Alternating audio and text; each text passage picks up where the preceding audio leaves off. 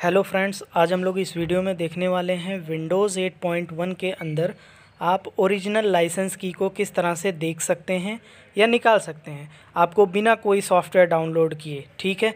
तो वीडियो को लास्ट तक ज़रूर देखें। वीडियो पसंद आए तो लाइक शेयर सब्सक्राइब करना ना भूलें। और याद रखें बेल आइकन को ज़रूर प्रेस कर लें, ठीक है? ताकि जो भी नोटिफिकेशन हो, आपको मिलता रहे। सबसे पहले हमें क्या करना है? दिस पीसी पे राइट क्लिक करके प्रॉपर्टीज़ करना है। यहाँ पे आपको विंडोज़ 8.1 सिंगल लैंग्वेज दिखेगा और नीचे विंडोज़ इज़ एक्टिवेटेड दिखेगा।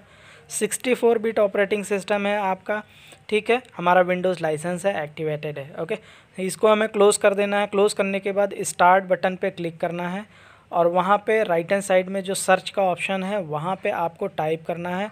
Windows power shell. क्या टाइप करना है? Windows power shell. उसको सिंग, हिट करना है, एंटर करना है, ठीक है? यहाँ पे आपको एक कमांड टाइप करना है, जो कि बहुत ही केयरफुली आप कमांड टाइप करिएगा, नहीं तो गलत होगा तो फिर की फाइंड नहीं करने देगा। मैं कमांड लिख के डिस्क्रिप्शन बॉक्स में डाल दूँगा, वहाँ से आप कॉपी पेस्ट कर सकते हो, ठीक है? सिंपल है, बहुत ही ईजी है। W M I C space path space software licensing लिखना है। जहाँ जहाँ पे स्पेस है, वहाँ पे आपको स्पेस रखना है। जहाँ पे कैपिटल लेटर रहेगा, वहाँ पे आपको कैपिटल लेटर रखना है। जहाँ पे स्मॉल है, वहाँ पे आपको स्मॉल रखना है। ध्यान रखिएगा इस चीज़ को। W M I C space path P A T H path space software S O F T E R software licensing L I C E N S I N G licensing services S E R V I C E service है। Sorry services नहीं है, service.